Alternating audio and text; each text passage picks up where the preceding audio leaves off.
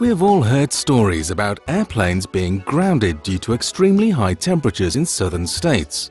We've seen pictures of hot air balloon pilots operating big burners below their hot air balloons as they work to leave the ground. And of course, we have all played with helium balloons tied to the end of a string, admiring how they float through the air with ease.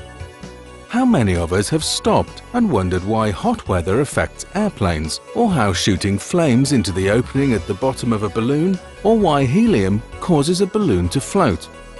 Well, it all boils down to the density of the air. If you watched our video or read our article on the concept of temperature, you may recall that temperature is a measure of the motion of molecules in a substance. As it turns out, in a gas like air, as the motion of the molecules in a gas speed up, the gas expands, resulting in a decrease in the density of the air, causing the air to become lighter. Think of the air just like water. When you throw something into a swimming pool that is less dense than the water in the pool, like a life preserver, it floats. The same thing happens in air. If something is less dense than the air around it, it floats.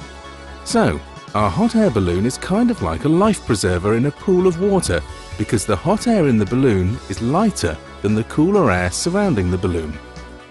In the case of the airplane, the low air density caused by high temperatures reduces an airplane's wing's ability to create lift, making it difficult for the airplane to fly.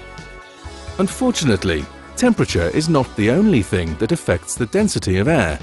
The molecules themselves also play a role. One example of a molecule that can affect the density of air is a water molecule, and believe it or not, water molecules are lighter than the other molecules that make up air. The more water molecules, the less dense the air is. To say it another way, the higher the humidity, the less dense the air is. So, hot humid air is less dense than cold dry air. The last factor we will talk about in this discussion is pressure. Pressure also affects the density of air, which is probably kind of intuitive when you think about it. When you squeeze something, it gets more dense. Kind of like when Superman squeezes coal into diamonds. Now that we understand air density and some of the things that affect it, how do we relate density to our drying processes? We will start to tie these things together into something more tangible in the next couple of videos.